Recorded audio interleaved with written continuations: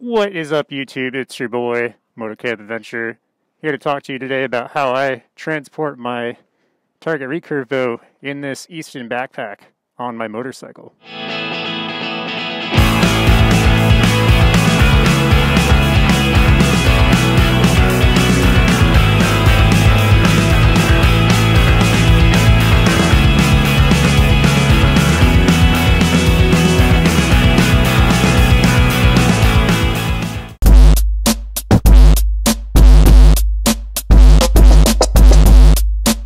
Alright, so this is typically how I transport this thing. Uh, you know, you can obviously wear it as a backpack if you're on like a smaller bike, uh, sport bike, whatever. But I just use two ROK straps, uh, cross them over each other, and uh, you know, as long as you tighten it down enough, uh, it should be good to go. So I just wanted to make it clear that uh, Easton doesn't pay me to, to say anything about their bag. I don't think it's the best. I don't think it's the worst. I just don't know what other options there are.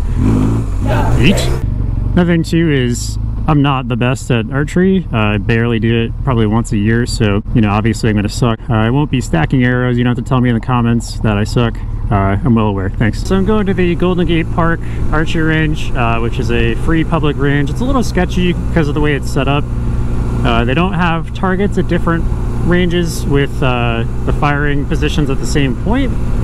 they just have targets all at the same spot and you back up or go forward as to how much distance you want. And so you just kind of have to trust the people to the left and right of you to not shoot a bow and arrow at you, uh, but I mean, that's not going to happen. I don't know. I, have never heard of any incident happening here, so I'm not worried about that.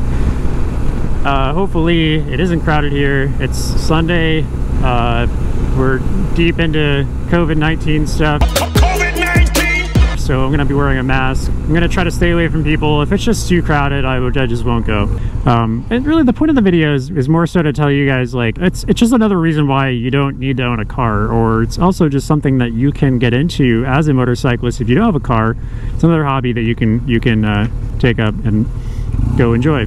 Now, since it's during COVID-19, I'm, I'm filming this. If you watch this and you say, oh, I want to get into archery too, uh, I wouldn't suggest just going and buying a, a bow online because um, you're going to need to size your arrows correctly to your draw length and you're going to want to get the right weight limbs. There's just a lot involved and I would suggest waiting until everything clears up and uh, you go to your local archery shop. Hopefully it's still around after all this. Don't go to Dick's Sporting Goods, don't go to wherever. All right, so we're turning in here, 47th Ave from Fulton Street.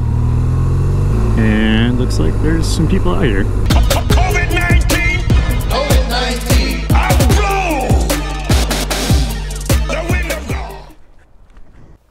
Alright, so I'm going to quickly walk you through the contents of my bag here. Again, this is the Easton Club XT. So open up the uh, front compartment. I've got my finger tab, uh, some boomerangs I can flex on the people at Golden Gate Park. I've got my sight. Got some goodies in here. The stringer for my bow, some snacks, some snacks. Open up the big compartment cardboard for the target, which I didn't need, my first aid kit, which has a tourniquet on the top, a 2.5 liter Osprey water bladder, which I keep in place with that Velcro tab. This rectangular zipper pouch holds the limbs, bowstring, and the riser. This plastic tube that extends out holds all the arrows and potentially a quiver. I'll try not to bore you too much with the assembly of this bow. It's pretty straightforward if you know how to assemble any target recurve bow.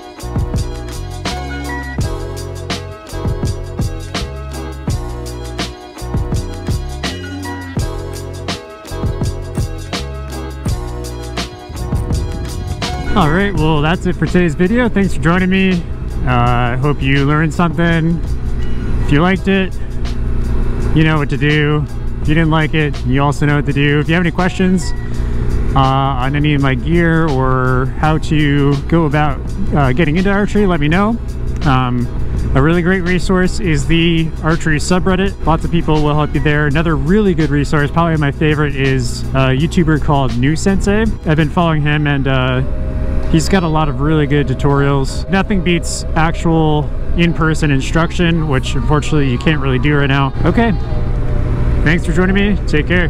Ride safe.